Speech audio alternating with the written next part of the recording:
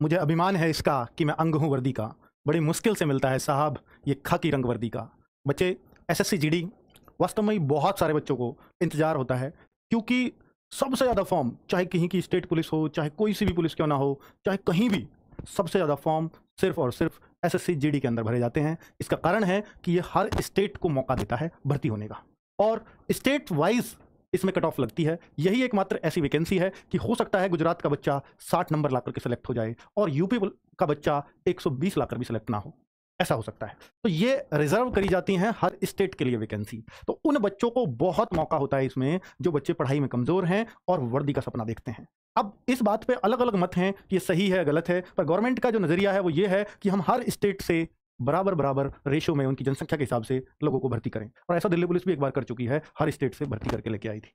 तो बच्चे, यहाँ पर एसएससी जीडी के नोटिफिकेशन की जानकारी बहुत शानदार आ गई है और आप बहुत खुश हो सकते हो। जितना हो सकते हो, उतना हो जाइए, क्योंकि आपको अब एग्ज़ाम डेट भी पता है, आपको अब फॉर्म डेट भी पता है। ये सब आई कहाँ से है? क्या ये ऑफिशियल जानकारी है? जी हाँ एसएससी ने अपना कैलेंडर अपडेट कर दिया है। उसमें सबसे लास्ट में एसएससी जीडी की वैकेंसीज का ज़िक्र हो चुका है, जिसके फॉर्म आपके चौबीस नवंबर से आ रहे हैं और एग्ज़ाम फरवरी मार्च दो हज़ार चौबीस में चला गया है।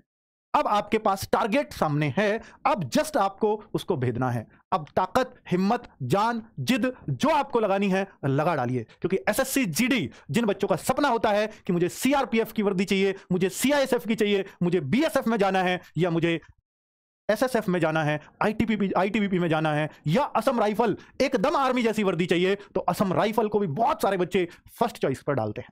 अब ये आपकी चॉइस पर डिपेंड करेगा और आपके मार्क्स पर डिपेंड करेगा जो एग्ज़ाम में आएँगे कि आपको इनमें से कौन सी पोस्ट मिलेगी। तो बच्चे एसएससी ने साफ़ कर दिया है। देखिए, एक तो मैं आपको बता दूँ, पहली बार ये तेरह भाषा प्लस हिंदी और इंग्लिश में एग्ज़ाम होने जा रहा है। आपकी जो चॉइस है, आप असम से हो तो असमिया में एग्ज़ाम दे सकते हो, आप गुजरात से हो तो गुजराती में एग्ज़ाम दे सकते हो, आप महाराष्ट्र से हो तो मराठी में एग्ज़ाम दे सकते हो। यह सिर्फ़ एमटीएस और एसएससी जीडी में हुआ अब तक। एसएससी के। तो भाई, पहली बार ऐसा हो रहा है कि सरकार ये चाह रही है कि अपनी भाषा को ही प्रमोट करो। आपको हिंदी या इंग्लिश में एग्ज़ाम देने की ज़रूरत नहीं है। आप जिस भाषा को बोलते हो, जैसी बोलते हो, उसी में आप एग्ज़ाम दे सकते हो। ठीक है, बहुत बढ़िया। अब आगे बात कर लेते हैं। ये है एसएससी का कैलेंडर जो आज ही अपडेट हुआ है, जिसमें 30 तारीख लिख रही है नीचे, पर हुआ वो आप आज अपडेट है। तो बच्चे, इसमें मैं इसका बड़ा फ़ोटो लेकर के मैंने अलग लगवा दिया है, ताकि क्लियर हो जाए। Constable GD in central arm forces CPF NIS SF rifleman GD Assam rifle यही नाम होता है इसका। कंप्यूटर बेस्ड एग्ज़ाम होगा।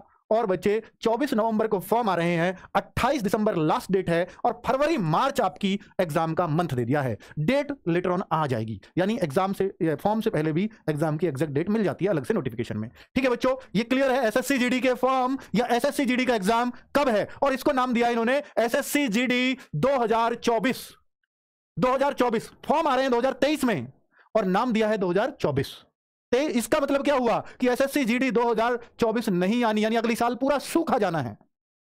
इस अगली साल फॉर्म नहीं आने एसएससी जीडी के। इस साल आ रहे हैं पर। कब आ रहे हैं? 24 नवंबर को एसएससी जीडी के फॉर्म आ रहे हैं और फरवरी, मार्च में आपका एग्ज़ाम होने वाला है। आपके सामने सीधा सीधा टारगेट है, भेद डालो बच्चों। फरवरी, मार्च अगर मैं आज से मानूं कि भाई अगर मैं 15 सितंबर से मान के चलूँ, चलो 15 सितंबर 10 सितंबर, जो भी आप मानते हो, अक्टूबर 15 इसलिए 15 फरवरी। क्योंकि फरवरी, मार्च बोला तो पंद्रह फरवरी के आसपास एग्ज़ाम तो पंद्रह सितंबर से पंद्रह फरवरी, क्योंकि इतना दिन तो आपको दिमाग को सेट करने में लग जाएँगे पढ़ाई करूँगा अब। तो ये अक्टूबर, नवंबर, दिसंबर, जनवरी, फरवरी, पाँच माह है आपके पास। क्या पाँच महीने में नौकरी मिल सकती है एसएससीजीडी की? हो सकता है यूपी में ना मिले, हो सकता है बिहार में ना मिले, पुरानी तैयारी है स्टेट्स मांगते हैं क्योंकि हाई कट ऑफ़ जाती है। हो सकता है हरियाणा में ना मिले, हो सकता है राजस्थान में ना मिले पाँच महीने में। लेकिन ऐसे बाकी स्टेट्स ऐसे हैं कि पाँच महीने में क्या, चार महीने में क्या तीन तीन महीने में बच्चों की नौकरी लगी है।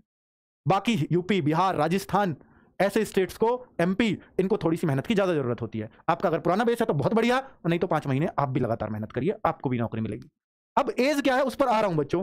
अभी एज का जो नोटिफिकेशन में ही क्लियर होगा, लेकिन मैं पहले बता देता हूँ, पहले क्या क्या हुआ है, उसके हिसाब से। पहले मोड ऑफ़ सिलेक्शन को देखते हैं बच्चों, कि एग्ज़ाम होगा, सबसे पहले फिर फ़िज़िकल होगा, फिर डॉक्यूमेंट वेरिफिकेशन मेडिकल के टाइम पे होती हैं। ये दोनों काम एक ही साथ होते हैं। तो बच्चे, तीन स्टेप्स हैं और तीन ही कट ऑफ़ लग पहली कट ऑफ़ लग जाएगी फ़िज़िकल के लिए, फिर लग जाएगी मेडिकल के लिए, फिर लग जाएगी फाइनल के लिए।